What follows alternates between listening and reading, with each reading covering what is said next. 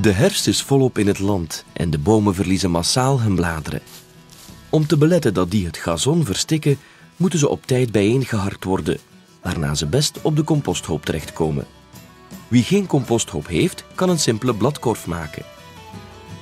Wat hebben we juist nodig om een bladkorf te maken? Vier palen, draad en natuurlijk ook bladeren. Hoe groot mag onze bladkorf zijn? Ideaal iets tussen een meter 20 en 80 centimeter. Waarom maken we hem niet te groot? Dan kunnen die bladeren beginnen verstikken en dat hebben we liever niet. We boren nu de gaten voor onze palen. Af en toe komen we een wortel tegen. Dan draaien we best ons boor even terug.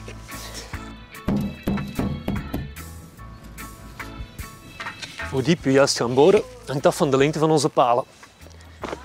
Ik ga ervan uit dat de paal ongeveer een derde de grond in moet. En omdat we ook een beetje vriendelijk willen zijn voor de natuur, kiezen we best voor een ecologische houtsoort. En in dit geval gebruiken we kastanjehout. We zetten onze draad ernaast om de hoogte te kunnen inschatten.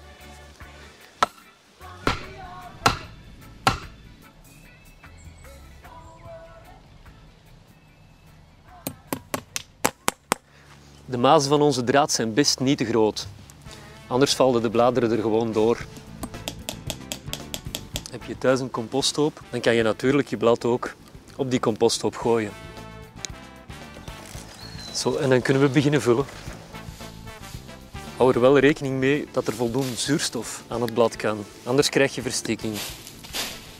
Daarom is het altijd aangewezen om eerst het droger blad onderaan te gooien.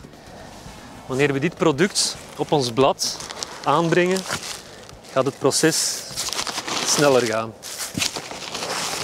Je maakt een laag van 30 centimeter, strooit dat er een beetje over uit.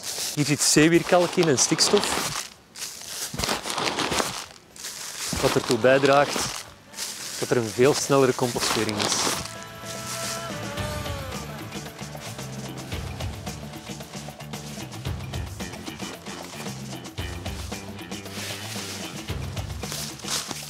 Voilà, onze bladkorf is klaar.